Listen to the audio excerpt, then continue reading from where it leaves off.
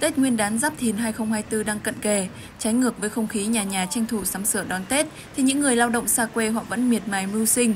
Hai đứa con, chồng cô mất à, năm nay là 14 năm rồi. Nghĩa là vì à, các con là mình phải à, mưu sinh vất vả, đi đi kiếm tiền về nuôi các con ăn học thôi. Chỉ cần mong nó nắng để bán được hàng để về lấy tiền về ăn Tết. Tết này rồi rồi thì những, những ngày Tết thì bọn cô là vất vả lắm, nhiều rác lắm, cũng có mệt nhưng mà cũng thấy vui. Vì là cô đã góp phần làm xanh sạch đẹp cho đường phố, cho phường, cho xã. Ngày Tết là có khi cô làm là cẩu còn giao thừa cũng không phải cẩu. Về nhà có năm thì cô về gội cái đầu xong thì là bắn pháo hoa. Có năm thì đang rửa trên nửa đường đường về thì pháo hoa. Càng cận Tết, bước chân của những người lao động trên nẻo đường mưu sinh dường như càng hối hả. Mỗi người một số phận, một hoàn cảnh, nghề nghiệp khác nhau, nhưng đều chung mong muốn chuyến xe về quê ăn Tết đầy đủ hơn, con trẻ có thêm tấm áo mới.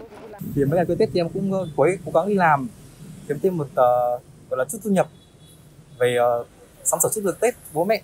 Uh, nếu mà làm Tết ấy, thì em thấy nhớ nhà lắm chị nên là cho dù là Tết có được bao thêm bao nhiêu tiền nữa thì em vẫn về nhà thì cũng mong thứ nhất là mong có sức khỏe để đi ờ, làm để kiếm tiền để trang trải cuộc sống lo cho các con đấy là mong muốn duy nhất Dường như qua ánh mắt và nụ cười gượng gạo của họ luôn chất chứa những nỗi lo về bữa cơm manh áo của gia đình. Mưu sinh với lao động nghèo xa quê chưa bao giờ là dễ dàng, tất cả đều cố gắng lăn lộn để có tiền về quê ăn Tết, lâu dài hơn là lo cho gia đình của mình.